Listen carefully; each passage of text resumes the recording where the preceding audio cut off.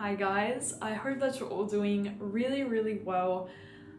Now, this has probably been the longest period of time that I have gone without filming a YouTube video.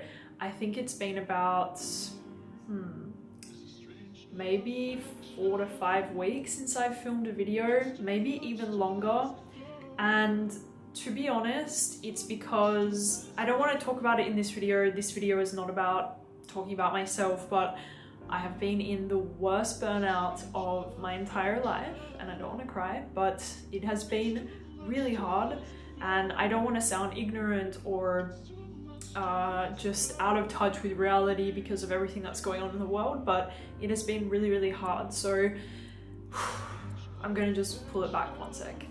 I just wanted to say to any of you guys who are feeling super burned out and just really hopeless and like you have nothing left inside of you, we can get through this together. And I want to tell you guys to take a break and to rest because that's exactly what I'm planning to do. I'm actually, I don't know why I do this to myself, but I'm going away tomorrow. Actually, no, tonight. I leave tonight to Australia for just over two weeks. I'm going there with Pierre and his parents. So his parents will meet my mom for the first time and I just I'm really looking forward to completely just switching off which if you guys follow me and keep up with me on social media you will see that I have been really not active recently. And that's because of this burnout. I've been talking about it with my psychologist and everything but I just really guys I am really struggling. And I just wanted to say that if you guys are feeling the same way take a break. I know it's hard.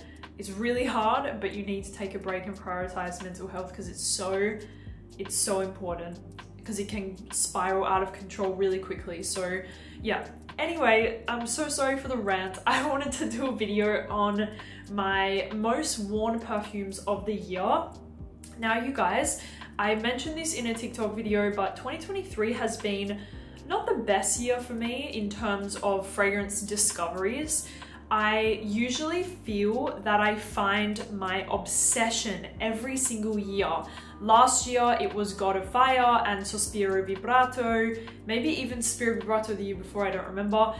But usually I find like the obsession and I had some comments on my TikTok videos being like, but what about this fragrance? But what about that fragrance that you said you loved? And I loved a lot of releases this year, a lot of them, but none of them became like my obsession. When I say an obsession, I mean that I wear that fragrance every single day, every single day for weeks at a time, like Vibrato Sospiro. I wore it so much, you guys. It was the only scent that I wanted to wear for literally like two months, three months straight, and I ran out of my bottle. I got a new one, etc. Same with God of Fire. At some point, I was just so hooked on that scent. Gris Charnel, but years ago now, Delina, years ago now. But this year, I didn't really find my obsession, which kind of made me sad in a way. So I'm hoping that in 2024, that will happen for me. With that being said, I do have like my obsession right now. I know I just said I didn't have one, but it's kind of weird. I will explain later in this video. I have an obsession. I cannot stop wearing it. I love it so much, but I got it a few weeks ago. So anyways, let's get into this video. I just want it to be casual, sitting with you guys, talking about what I wore the most this year. I'm gonna start out with a fragrance that actually sits in my bathroom. No, you should not leave your fragrance in the bathroom. So the first fragrance is Jo Malone Wood Sage and Sea Salt. I think I've done like a bunch of videos with this specific bottle and it just kind of keeps slowly going down and down because I don't want to run out of the scent. But I love it so much. I don't know what it is about wood sage and sea salt, but for me personally, this is one of the most addictive fresh fragrances that I have ever tried in my life. Like I'm not joking to you guys, there is something really addictive about wood sage and sea salt, and it is absolutely by far my favorite out of the shower freshie because it's not an obvious fresh fragrance. It's fresh in a weird way. You have some sage, you have a like kind of a sea salt note, you have this kind of musky sweetness going on. It's fresh, slightly aquatic, and a little bit, yeah, like musky, a little touch of something sweet and salty. It's just so good. It actually kind of plays in the same pool as Pacific Rock Moss from Goldfield and Banks, except that one is much more citrus, much more aquatic I feel like they are similar in a way though, but I love Wood Sage and Sea Salt. It's just so good. And I think it was probably in my most worn from last year, maybe even the year before, because it's just a scent that I pull for all the time out of the shower. So Wood Sage and Sea Salt from Jo Malone, absolutely love it. And it will probably be in my next year's list as well. I do want to get another bottle because I feel like, I don't know if you guys are the same, but I just refuse to finish a bottle. Like, I don't know why, but it's just, I don't want to have to purchase a new scent. Let's stick with my bathroom and what I have in there. This is Mizensir White Neroli. So random, you guys, like so freaking random. Look at, I, you can see I've been wearing this one a lot. So random. I have hated neroli since I started getting into fragrances a really long time ago. I never could appreciate the note of neroli. Like I remember back in the day when neroli Portofino was like such a hyped up scent, I went to try it a bunch of times and I was like, this? Like people think this is amazing? Like what are they on? This is horrible. Like I could not understand the hype with neroli. I just didn't I, I don't understand the note. I just didn't understand it. It's bitter, it's green, it's kind of floral, it's a bit like woody, it's weird. I just didn't like it for such a long time, but something happened this year. It kind of happened after I turned 25, I feel. I know that's kind of strange, but I just started to love Neroli. I don't know whether it's because it kind of is quite a like a nostalgic fragrance note or I'm just getting older. I don't know, but I'm starting to love the note it's not something that I wear to feel sexy by any means. It's not something that I necessarily want my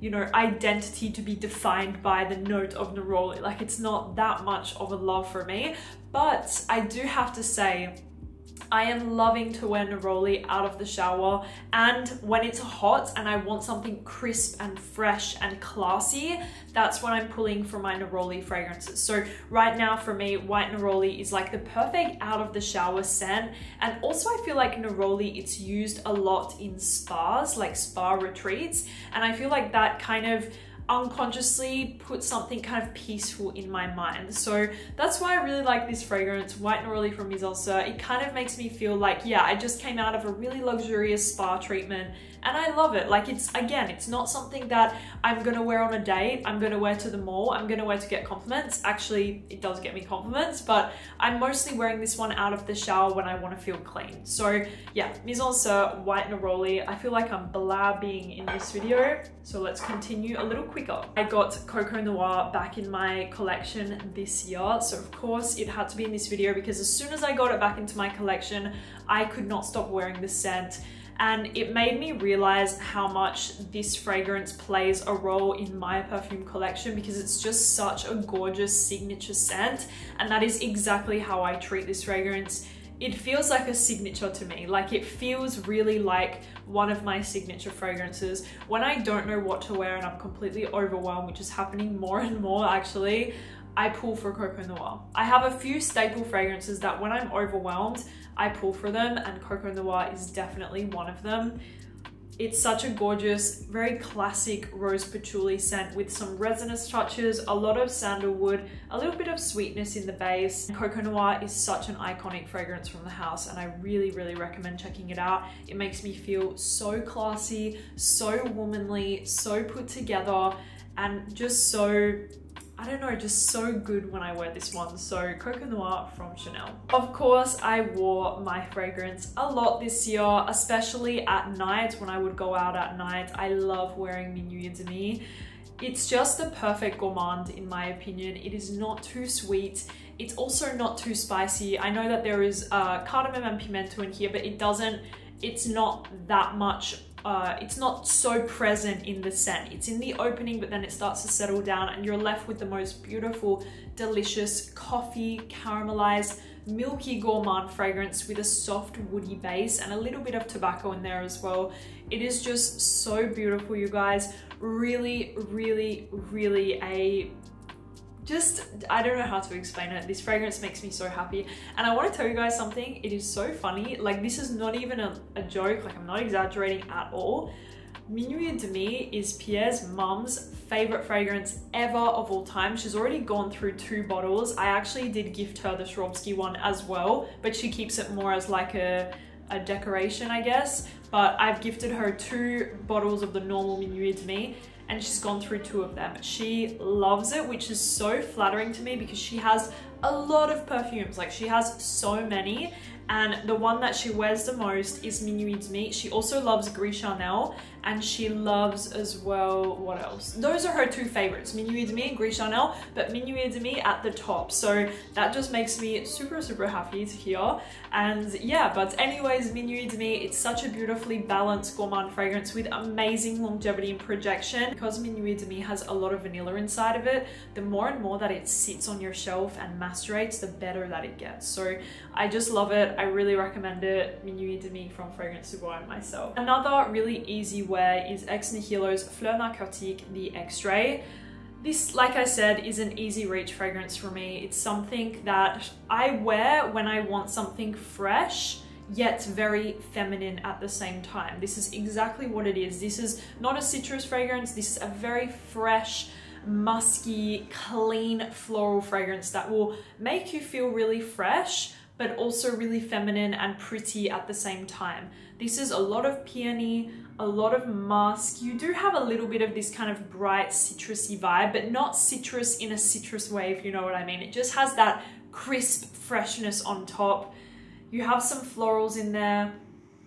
You have a little bit of sweetness. It's very plush and just really musky and it's honestly, when I smell this fragrance, it's one of the prettiest fragrances that I've ever smelled in my life. And actually I have Le Vent from Ormonde Jayne and they are probably 95% similar. So get whichever one you would prefer, which one you find cheaper. But the one that I wore more this year was Fleur Narcotique, the Extrait. Okay, so the fragrance that I wore the most this summer, as you guys know, if you follow me, I went away for a summer. I usually go to France with Pierre over the summer summer months and I really did not like my selection this year. I was so sad because once I got to France and I realized what I had brought with me, I was kind of like, what was I thinking? Like, I just didn't love the fragrances that I brought. I cannot explain it to you guys. I just didn't enjoy them while I was in, like, I, while I was on summer vacation. I just didn't enjoy the fragrances that I brought. So by default, the most worn fragrance for me this summer was Solaris from Penhaligon's. And I don't mean by default in a negative way. I just mean because I didn't really want to wear any of my other scents. So I wore Solaris the most. This was the only fragrance that I brought with me that I really felt happy and really good wearing this summer. Solaris is the most beautiful floral fragrance that gives you that kind of Nuxe body oil vibe. I love this fragrance. Like it's probably one of my one of my favorite tropical solar florals that I have tried in a very long time, you guys. You know from me that the one that holds the top spot is Ylang Ylang Nosy Be, Oud Jaune Intense, um, what else do I like? I love a bunch of tropical florals, but I would say all of you that love that solar creamy sunscreen floral, you have to check out Solaris. It is absolutely incredible. And actually I'm thinking right now because I'm going to Australia, like I said tonight, it's summertime in Australia. So maybe I'm going to bring Solaris with me. I don't know yet. It's still the decision that I have to make to go through all my fragrances and pick them out. But I want like a nice creamy floral to wear while I'm in Australia. But such a beautiful scent. I will say, however, the only thing that lets this fragrance down is the longevity projection. It's not that good, but I love the scent. I think the way that they have composed it is so perfect. It's not too creamy and coconutty, but it's also not too fresh and kind of bitter orange blossom neroli floral. It's perfectly balanced in between and I love it so much. Really recommend that you guys check this one out. You can see actually from my bottle, I really wore this one all summer long and I love it a lot. Really clean fragrance that I wore this year. This was definitely my go-to like clean musk. This is Apollonia from Xerjoff. Honestly, you guys, this is by far the best white musk fragrance that I've ever tried. Like the quality of Apollonia is just on another level to anything that I've ever smelled. It is pure perfection. This is a really buttery, creamy, soft, powdery, musky musk fragrance and it's just pure perfection. I actually have the notes on the back of this fragrance and it says white flowers, iris butter, and white musk. So yeah, you pretty much get all of that. I don't actually get a white floral essence. I really just get that orris butter and that white musk wrapped up. It's so smooth and creamy, slightly powdery. It's just so beautiful, you guys. Like really a beautiful fragrance. Very easy to wear, very classic, very clean, very elegant. I know people hate this term, but it's very, sorry. I know people hate this term, but it is very old money, if I can say that. And I just, it's not for that reason that I love it. I just love this fragrance. And I have found that it layers really beautifully with so many of my fragrances, whether you want to layer it with a floral, whether you want to layer it with something a little more contrasting like this one, whether you want to layer it with white neroli, like it layers really beautifully with a lot of fragrances. So that's another reason why I wore it so much this year, especially in the summertime, especially in the Dubai summer, when I wanted to feel really clean and fresh out of the shower. I would put Apollonia first, followed by a nice smooth citrus scent and it just worked so beautifully. Next up we have Nuée Bleue from Violet. You can see from my bottle that I wore this one a lot. Now, I'm looking at the most worn for me and you can really see you can really see a running theme here. A lot of the fragrances that I wore the most this year, I'm gonna speak about some more after, but a lot of them are very clean. This is Nuée Bleue, like I said, from Violet. This is a gorgeous um, kind of not dupe, it's like an interpretation of Prada Infusion d'Iris. I love this scent. It's so fresh yet powdery, lipsticky, musky, clean, but very classic. It's very mature and sophisticated. And I just love it, you guys. You definitely have that prominent kind of powdery lipstick vibe, but it's fresh and pillowy and silky and musky and it's just it's really beautiful it does smell really similar to Prada Infusion Iris so if you like that scent you will definitely love this one this again was something that I was pulling for a lot in the high heat in the summer when I wanted to feel clean and fresh and elegant, but in a more sophisticated and mature way. Like I mentioned in some videos, but I wore this one a lot for meetings when I wanted to feel really professional and really, you know, on my game, that's when I was wearing Nuée I love the fragrance. This is not something that makes me feel sexy by any means, you guys. Like, this is not what I would consider at all something sexy, but it's something classy. And sometimes I want to smell classy, and I'm lucky enough to have a collection where one day if I want to feel sexy, I have a lot of options. One day if I want to feel classy, I have a lot of options. One day if I want to feel clean, I have a lot of options. So this one for me is a classy scent and that is what it is classy and clean, I would say. I was not certain that I was going to wear this one as much as I did, but this is Attrape Rêve from Louis Vuitton. Now, I love the Louis Vuitton collection of fragrances, but I do feel that they are extremely overpriced. Like, I really want to get I want to buy a bunch of them at the moment. I have about eight or so on my wish list. Um, the next one being Nouveau Monde, which is a beautiful oud fragrance, very complex, very dark, very slightly animalic. Like I don't think everyone would like it, but it's hard to pull the trigger because I just cannot justify spending that much, but I will at some point.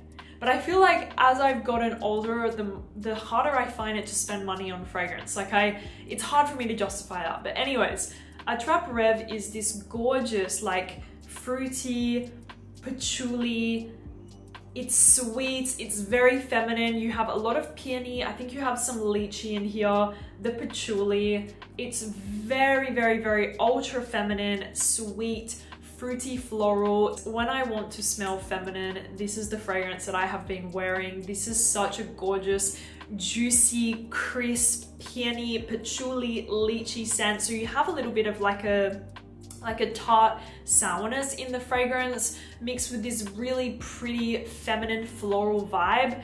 Then you have a little bit of a sweet fruitiness going on and it's just gorgeous. It is a really beautiful fragrance, especially for a woman. But I do, however, feel that you can find something similar for much cheaper because the DNA of this scent has a really kind of designer-esque vibe. And I don't mean that in a negative way. I'm just telling you guys, because of the DNA of this, I do feel like you could find a cheaper version, but nonetheless, I had, well, I, Nonetheless, I wore this fragrance a lot this year when I wanted to feel feminine, but really sexy at the same time. That's when I wore Attrape Rêve, and I do really like the scent.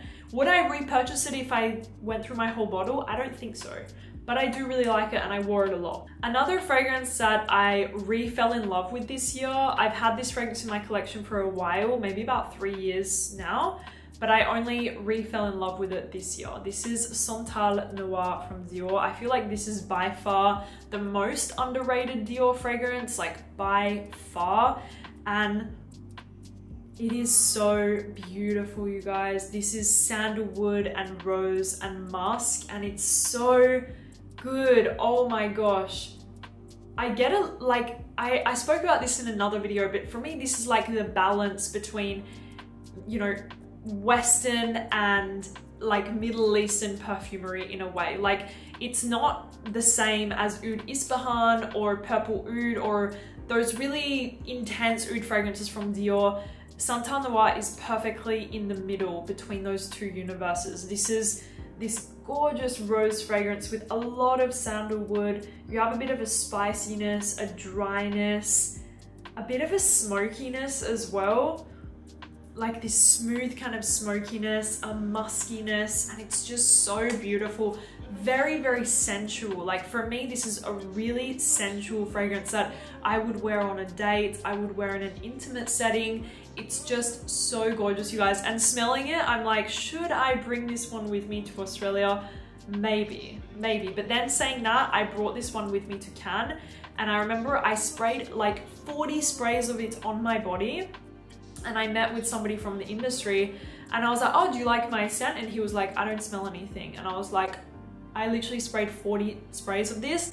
And for me, I want people to smell me. So maybe I will not take this one with me to Australia, but I love it so much. It's such a gorgeous fragrance, really intimate and sensual sandalwood fragrance with rose, musk, spice, dry like smokiness. I love, love, love this scent. A gourmand that I loved so much this year and I wore a lot during the summer, like summer in Dubai I'm talking about, is Gossip Night from Gritti. This was definitely a really hyped release this year and one that I absolutely loved. Gossip Night is this gorgeous kind of creamy, warm, almost like a milky tropical gourmand scent. I think you have some peach, caramel, whipped cream. You are seeing where I'm going with this. This is a very like, I don't know how to explain it, but it's a very feminine gourmand. It's a very cute gourmand fragrance and I love it. You have this really tropical vibe going on. I think there is also some mango in here, a lot of peach, a lot of caramel, a lot of whipped cream. So it really has that creaminess going on overall.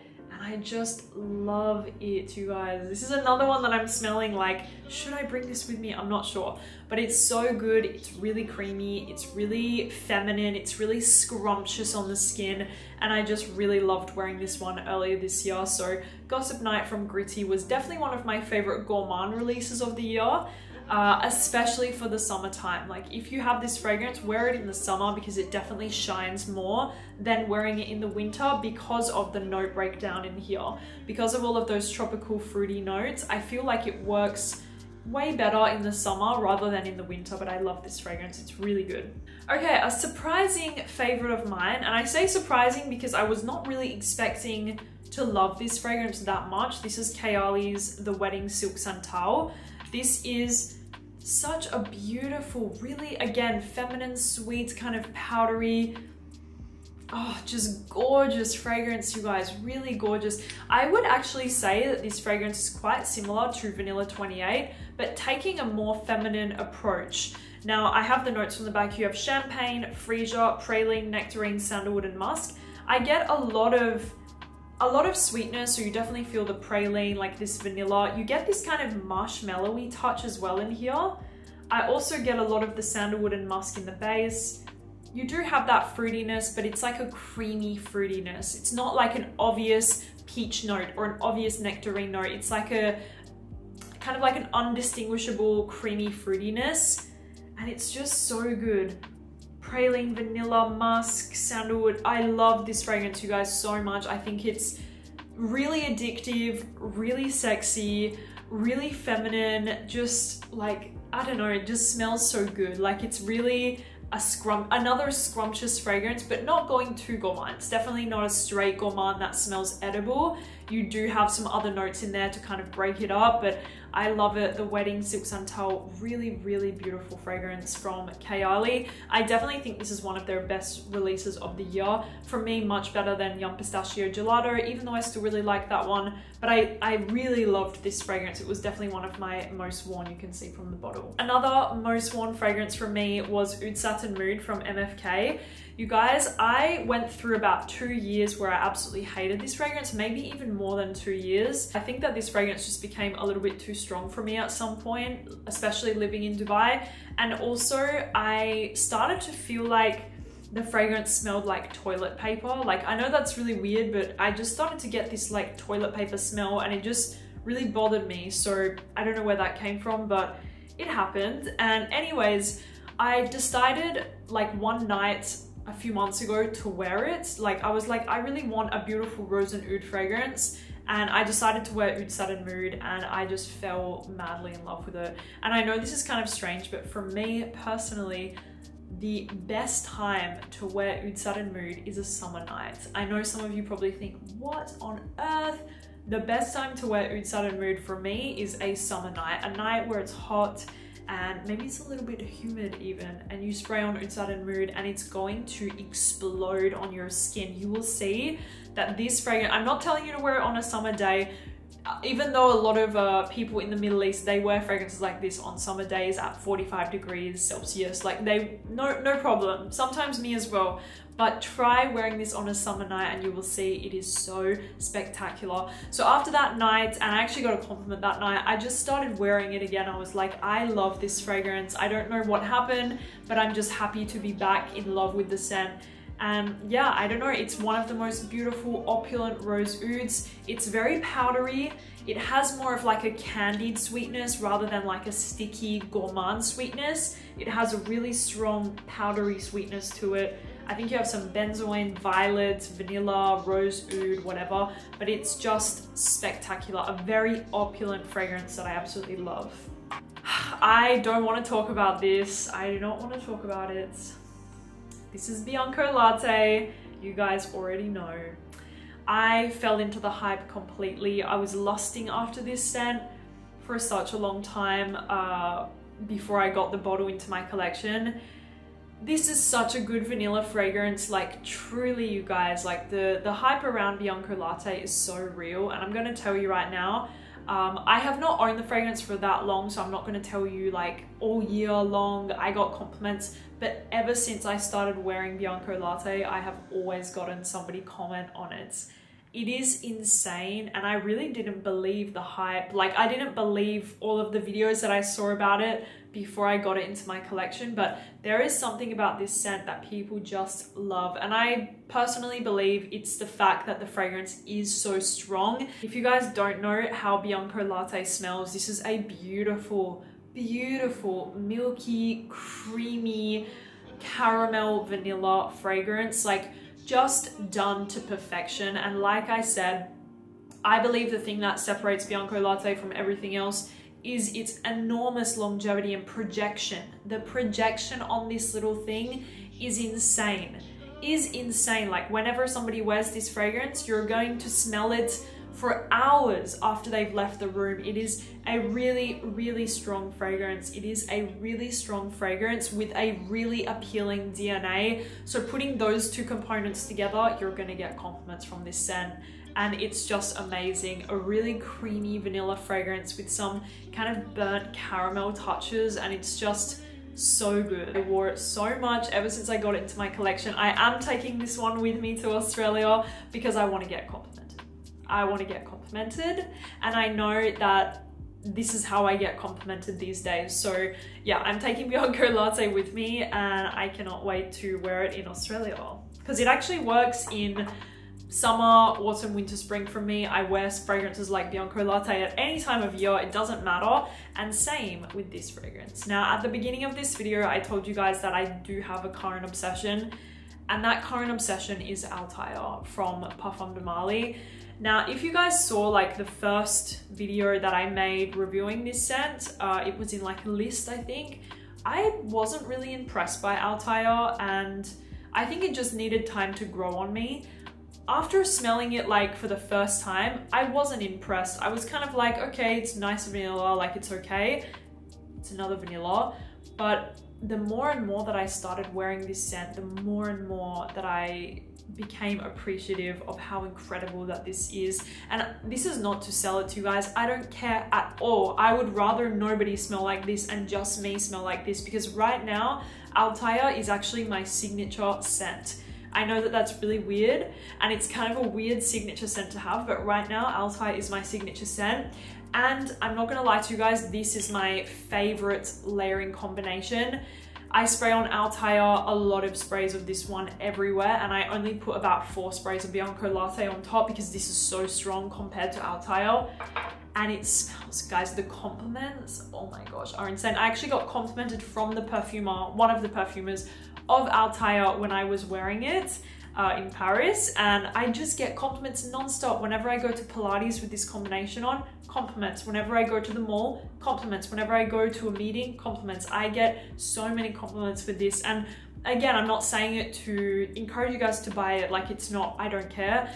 I'm just telling you guys it is shocking. The amount of people that react when I wear this it is amazing. Now it's a really complex vanilla and to be honest, I have never really heard anybody describe the scent accurately because it's too hard to describe accurately. This is a vanilla fragrance, but it's quite a dark vanilla. I'm gonna say something, but it's kind of weird. I almost get a slight cacao vibe, like it's very subtle cacao vibe from Althaïr. You have the vanilla, you have the orange blossom in the opening, you have praline, which is absolutely delicious in here.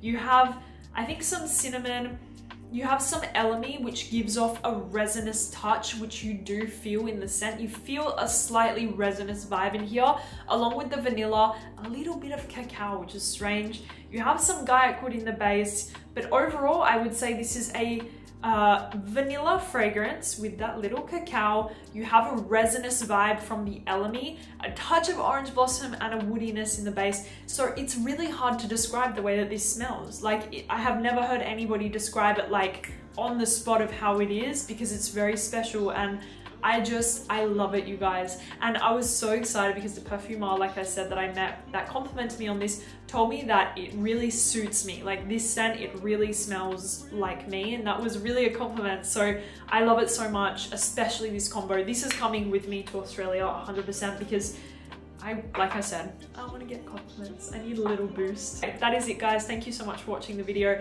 I hope that you enjoyed seeing my most worn fragrances of the year.